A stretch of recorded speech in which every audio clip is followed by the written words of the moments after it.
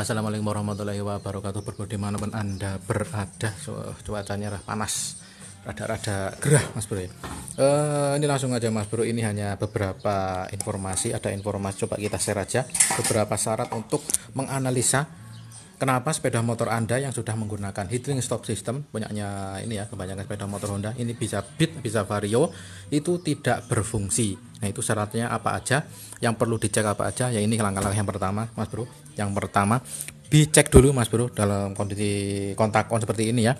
Yang pertama dulu ini tombol heading stop sistemnya ini kalau ditekan di sini harusnya nyala ada huruf A nya ya kalau ditekan ada huruf nyala kalau dimatikan dia nggak berfungsi yaitu Nah kalau ditekan seperti ini tidak menyala, ini kuat dua gaan, tombolmu ini tidak tidak sudah tidak berfungsi atau sudah rusak atau ada kabel yang tidak terhubung dengan semestinya Mas Bro. Coba cekkan area tombol ini. Kalau ada apa coba langsung di jumper nggak apa-apa. Coba untuk mengetes dulu aja oke? Yang pertama seperti ini sudah nyala langsung udah nyala. Langsung yang kedua itu syaratnya sepeda motor mas bro ya. Kalau kamu kondisi uh, stop heating stop sistemmu tidak berfungsi dia itu kondisinya jangan masuk eh, kondisi mesin masih dingin apa dinyalakan untuk berfungsi itu tidak bisa berfungsi mas bro. Itu syaratnya harus mesin dalam kondisi diangetin dulu mas bro. Ya paling tidak ya apa ya kalau di saran di buku panduannya itu sampai suhu mesin menyampai 80 derajat itu baru berfungsi heating stop sistemmu. Nah sampai situ udah diangetin masih tidak berfungsi lagi ini lagi syarat yang selanjutnya lagi. Sepeda motor itu harus berjalan minimal di atas 10 km selama 33 detik.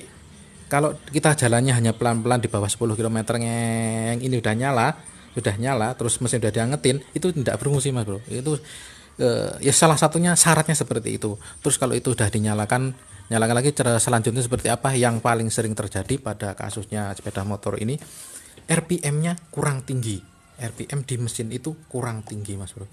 Nah kalau sampean masih bingung pengecekannya bagaimana di sini ada sebenarnya sudah ada banyak yang jualan. Cuman kalau sampean minat nanti boleh saya buatin. Pakai aplikasi aja mas bro. Di sini ada aplikasi Torsq nah, coba kontak dan nyalakan ini kayak gini. Minta saya tancepin dulu ini belum plug tancepannya nyala seperti itu. Aplikasinya dibuka. Untuk memudahkan sampean kalau dalam suatu masalah untuk mengecek ini khusus untuk OBD2 scanner murah meriah untuk mengecek sistem kelistrikan atau sistem injeksi atau cara kerja di sepeda motor yang menganut sistem OBD2 ini yang dasar-dasarnya aja mas bro. Nah ini sudah terhubung connected ECU engine.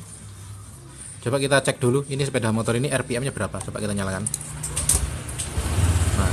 RPM nya naik.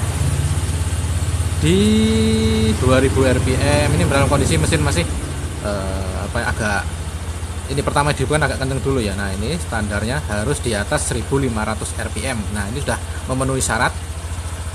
Nah kalau sepeda motor sampai di menggunakan alat seperti ini masih di bawah 1500 terus mau ngeceknya gimana di sini Mas Bro? Di sini ada tombolnya. Tombol apa semacam ada coakan lubang buka bagasi jok bagasi. Di sini ada semacam nah itu luas di sini pakai obeng menes atau piles di sini. Kembang ya obeng kembang. Coba diputar entah ke kanan atau kiri dulu boleh.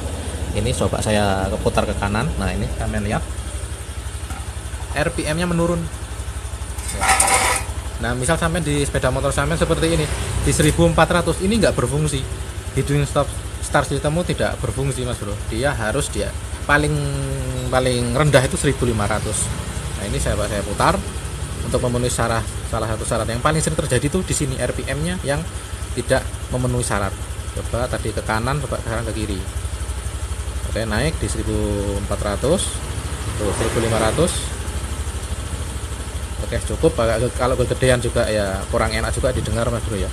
Jadi di atas 1000 500 nih 1600 boleh 1000 nah ini kan 1500 1000 uh, masih ada 400 nya coba agak digedein lagi.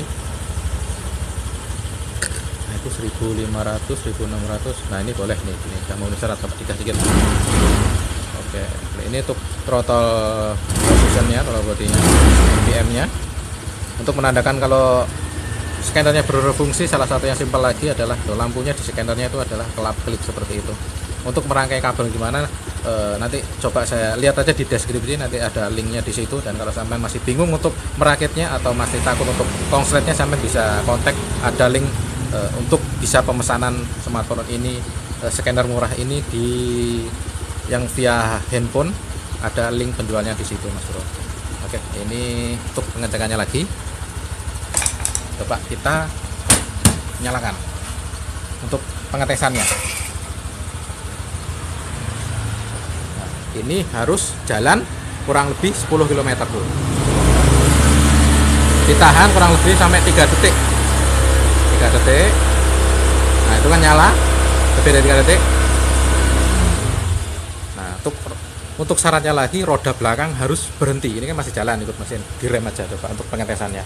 Rem mati nah ini salah satu syaratnya untuk uh, sepeda motor anda kalau bila mengalami kendala start stop sistemnya tidak bermasa tidak berfungsi ini langkah-langkah yang bisa dilakukan untuk mengecek mengecek sendiri di rumah dan menggunakan alat simpel seperti ini untuk RPM nya uh, eh, salah satunya mas bro ya seperti ini coba di nah oke okay. oke okay.